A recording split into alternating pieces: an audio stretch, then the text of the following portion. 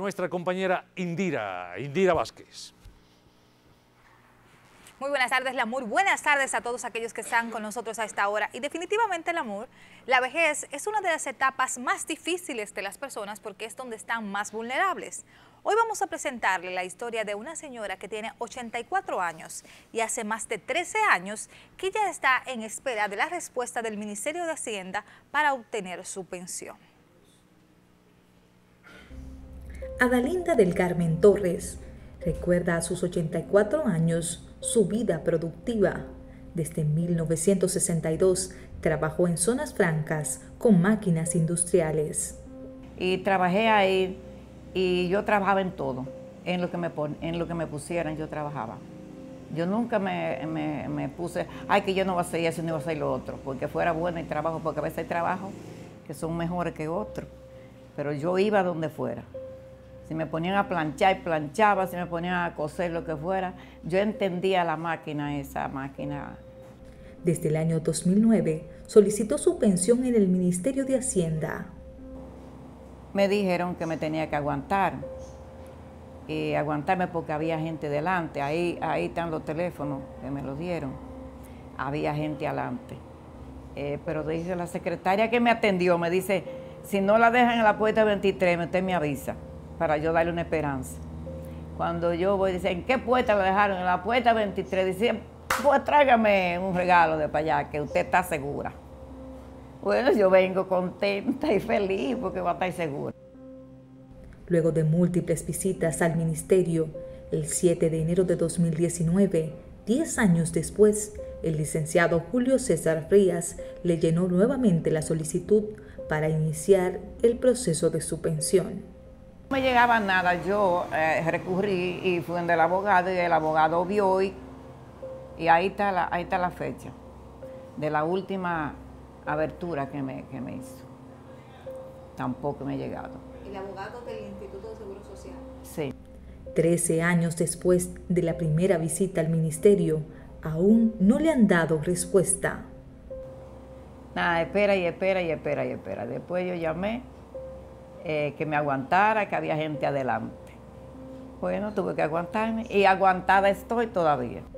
Adalinda Torres hoy tiene 84 años, está enferma y cada mes vive un calvario para conseguir los múltiples medicamentos que necesita. Ay, ay, ay, ay, yo de muchos medicamentos tomo ahí, tengo dos cajas de, que últimamente me han puesto para el corazón, y yo creo que le van a saber más que yo, porque a mí no me dicen ni nada, porque como para que yo me ponga, tú nerviosa ni nada. Yo creo mucho en Dios y yo sé que el que está con Dios no está solo, pero muchísima y bien cara. Ella hace un llamado al ministerio y al presidente para que escuchen su caso. Sí, yo necesito la pensión porque yo soy una, persona que no tengo esposo, eh, me murió, eh, no tengo, se murió toda mi familia, nada más tengo mis dos hijos que trabaja uno en una escuela, eh, eso es lo que trabaja. Yo, ajá, portero, que un portero no gana gran cosa.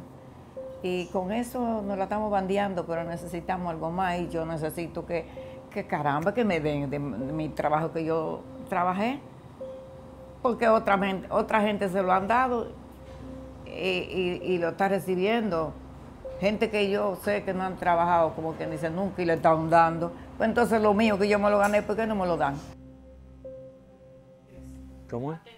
Si hay algo, si hay algo que a mí me enculilla, porque ese es el término que yo tengo que utilizar, es justamente robarle el sudor a las personas porque doña Adalinda, ¿verdad que se llama? Doña Adalinda, con creo que son 84 años. Señores, pero no es un asunto de que ella necesita su pensión. Es que ustedes, Hacienda, están obligados a entregarle su pensión hace tiempo. Y ya lleva 13 años en esa agonía. ¿Usted cree que eso es posible? Yo me engranó, sí, porque yo digo, Dios mío, pero uno vive en una selva, eh, eh, eh Indira. uno vive desprotegido completamente.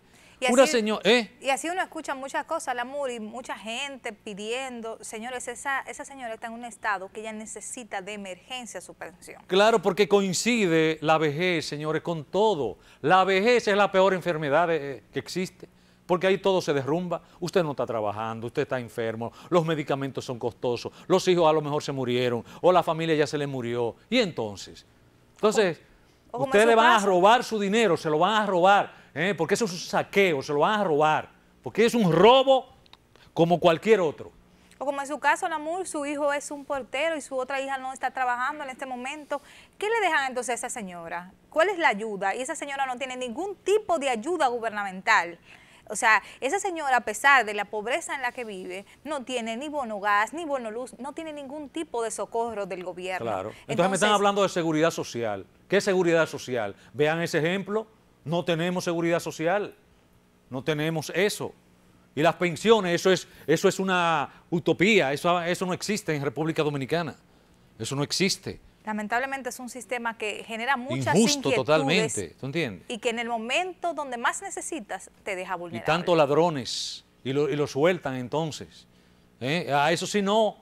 A eso sí le entregan su pensión. Duran dos o tres años en el gobierno y ya tienen una pensión ahí de 300, 400 mil pesos. Entonces, doña Dalinda, mm, joseando durante muchísimos años, ya ahora con 84 años de edad, 13 años detrás de eso, ¿eh? y que, que tenía que aguantarse. ¿Qué es lo que tiene que aguantarse? Ella no tiene que aguantarse nada, irresponsable que ustedes son, ¿eh? injustos. Y ahora le dicen en Santo Domingo que venga aquí, desde aquí que vaya a Santo Domingo, una persona con 84 años. Eso es imposible. Gracias, Indira Vázquez.